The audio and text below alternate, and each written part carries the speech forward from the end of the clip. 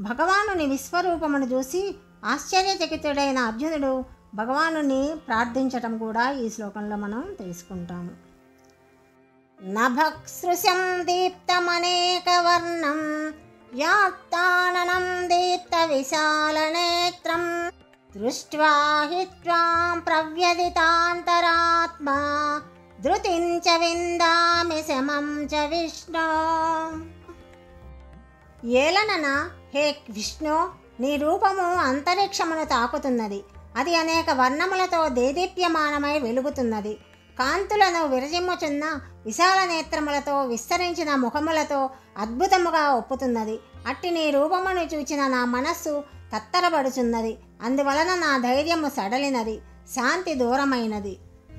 ఓ విష్ణుమూర్తి ఆకాశమును తాకుచున్నవారును ప్రకాశించుచున్నవారును పెక్కు రంగులు గలవారును తెరవబడిన నోరు కలవారును జ్వలించుచున్న విశాలములైన నేత్రముల కలవారుగను. మిమ్ము చూసి మిగుల భీతిల్లిన మనసు కలవాడనై ధైర్యమును శాంతిని నేను పొందజాలకున్నాను అని భగవానునితో అర్జునుడు ప్రార్థించి చెప్పటము ఈ శ్లోకంలో మనం తెలుసుకుందాం. అర్జునుడు భగవానుని ఇంకా ప్రార్థించటము తదుపరి ఇరవై ఐదవ శ్లోకంలో మనం తెలుసుకుందాం.